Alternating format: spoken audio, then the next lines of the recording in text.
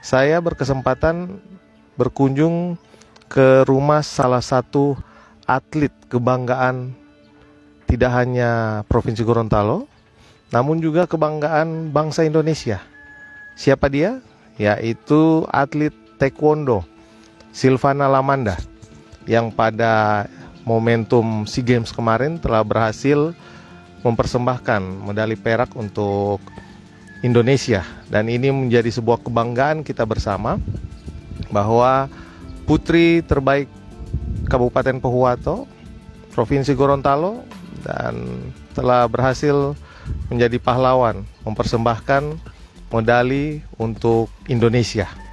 Dan Tribuners di beberapa pekan kemarin penjabat Gubernur Gorontalo bersama Bapak Bupati Pohuwato itu sempat berkunjung ke kediaman daripada Silvana Lamanda ini. Dan perlu kami sampaikan bahwa pada kunjungan tersebut Bapak penjabat gubernur, Bapak Hamka Hendra Nur menjanjikan bahwa akan membantu pembangunan rumah daripada Silvana.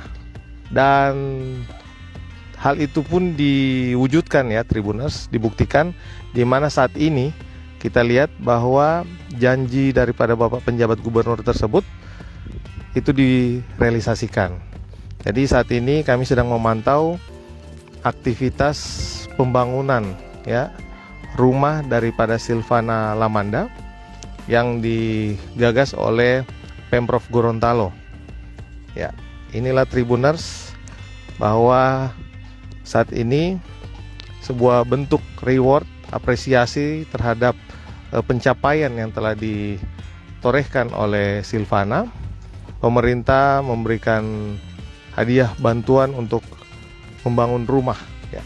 Dan ini merupakan kondisi ataupun eh, keberadaan rumah Silvana sebelumnya ya. Dan ini yang saat ini adalah pondasi yang sementara dikerjakan eh, oleh para tukang dan nanti kita akan berbincang dengan Eh, beberapa orang di tempat ini yang juga menjadi penanggung jawab daripada pekerjaan rumah ini.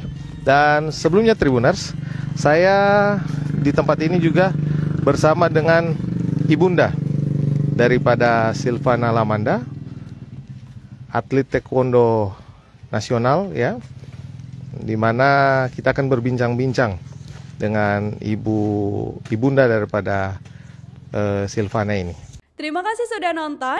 Jangan lupa like, subscribe, dan share ya.